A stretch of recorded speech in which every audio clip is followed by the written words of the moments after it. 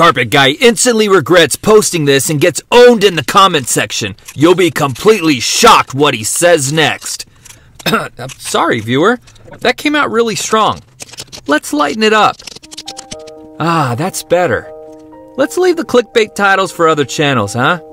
What you'll find here isn't all that edgy most times. Think of it as the comfort food of social media. Watch before bed, when you're sad, or just passing time in the bathroom. I get it.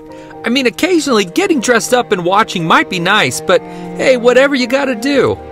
It's not like this screen goes both ways. It's a pleasure to have you alongside as I fix up carpets. Improving my customers' lives one carpet repair at a time. Sure, may not make a whole lot of difference, but it is some.